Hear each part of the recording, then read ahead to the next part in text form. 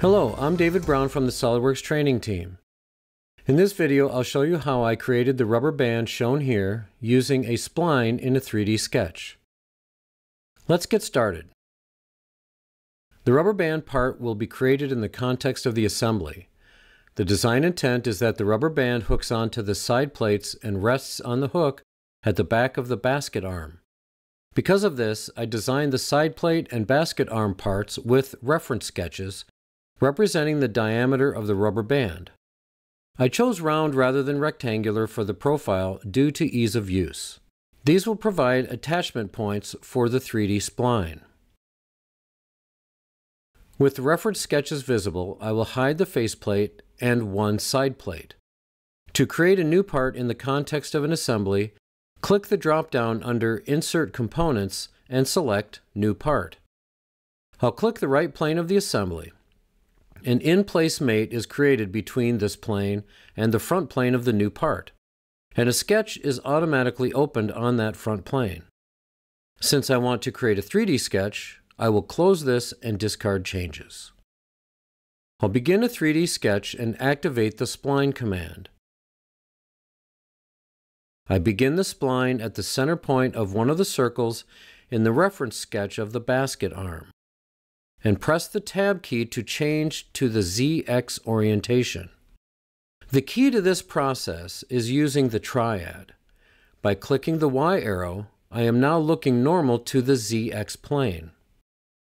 I'll click to place a couple control points, then rotate the model slightly and click the center of the circle in the reference sketch of the side plate. Click Y on the triad again and add a couple more control points. I'll rotate the model slightly and end the spline at the center of the other circle in the reference sketch of the basket arm. A key thing to remember about splines.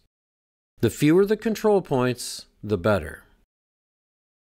Next, click the spline to show the control handles. Then, one at a time, select the handles at the ends of the spline and add along Z relations. I'll do the same thing with the handle that goes through the center of the circle in the reference sketch of the side plate. This will ensure that the sweep will pass through the centers correctly. All that is left is to adjust the spline, which will be the path of a sweep feature. To accomplish this, I will use the triad and switch between the right and top orthographic views. Here is the trick. When you move something on the screen in a 3D environment, like sketch entities of a 3D sketch or parts in an assembly, they move on a theoretical plane that is parallel to the screen. So when I am moving the control points of the spline, they are staying parallel to my screen. Here I can see I have too many control points, so I will delete one on this side then adjust using the control handle. Now as I rotate the model, I can see the path is looking pretty good. I will keep following this process to make further adjustments. I am trying to get a path that won't collide with itself and provides a natural looking path for the sweep.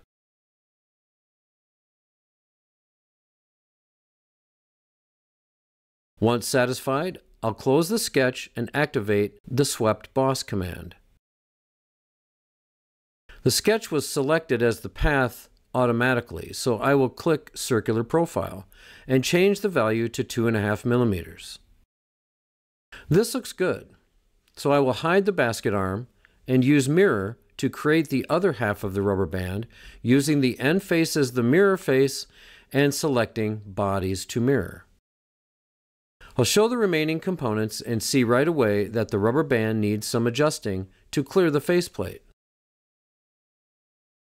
I'll edit the part again and the 3D sketch, and now with all the parts shown, I can simply adjust the points of the spline so they clear the faceplate.